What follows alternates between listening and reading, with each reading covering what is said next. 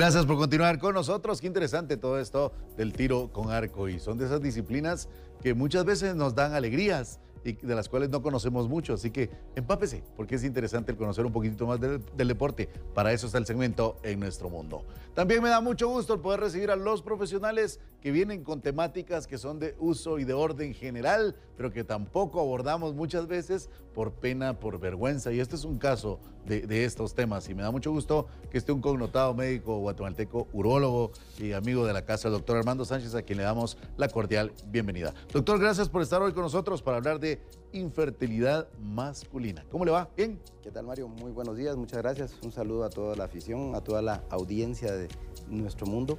Y pues sí, nuevamente vamos a hablar de un tema que no es muy frecuente.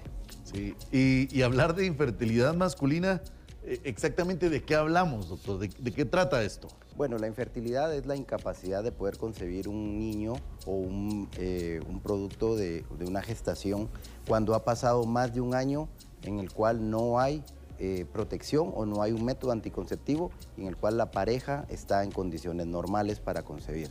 Perfecto. Doctor, ¿esto, esto es muy frecuente en Guatemala? ¿Es muy común en Guatemala?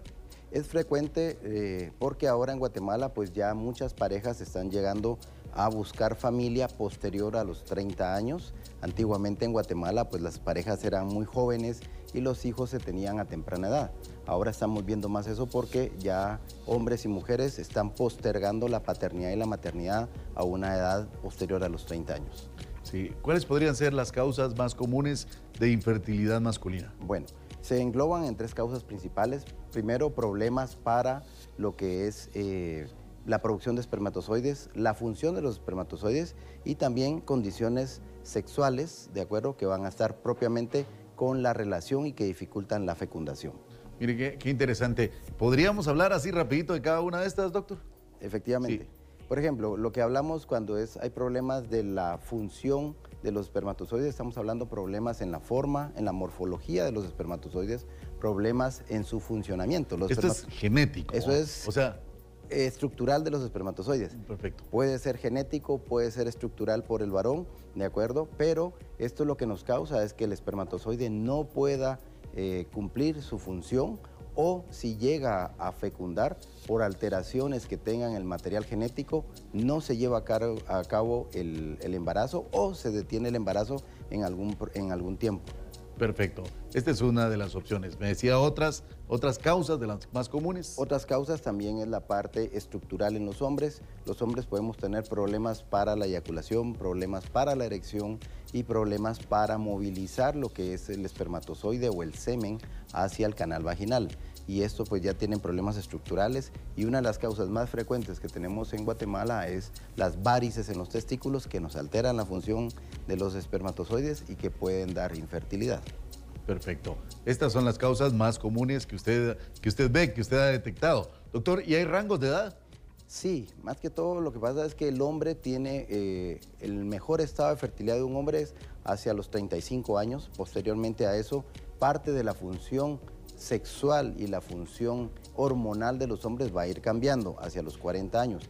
Y tenemos que tomar en cuenta que después de los 40 años, hacia los 45 años, van a venir ciertas afecciones de próstata, que también la próstata eh, participa en la fecundación y tenemos que tomar eso en cuenta. ¿Cómo se hacen estos diagnósticos de infertilidad?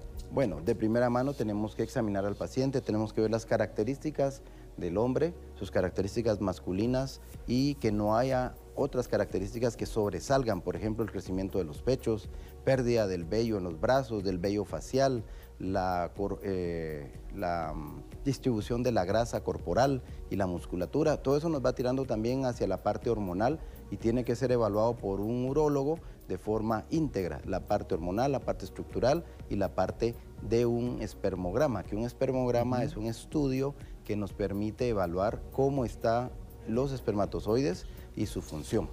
Muy bien, doctor. ¿En los casos o en todos los casos de infertilidad es, es corregible en su mayoría? En un 80% es corregible, hay causas que como usted había dicho que son eh, familiares, son hereditarias o congénitas, hay casos en los cuales no se puede corregir, pero actualmente en Guatemala pues ya existen métodos de embarazo asistido, de acuerdo, en los cuales sí se puede llegar a un embarazo, eh, pero de forma asistida. Perfecto. Mire qué interesante esto. Y, si quiere dejamos el tema sobre la mesa para que pudiéramos hablar de estos otros temas más adelante aquí en nuestro mundo. Por hoy le agradezco y hablar de infertilidad masculina porque muy pocas veces se habla y qué bueno que podemos hacerlo en televisión abierta.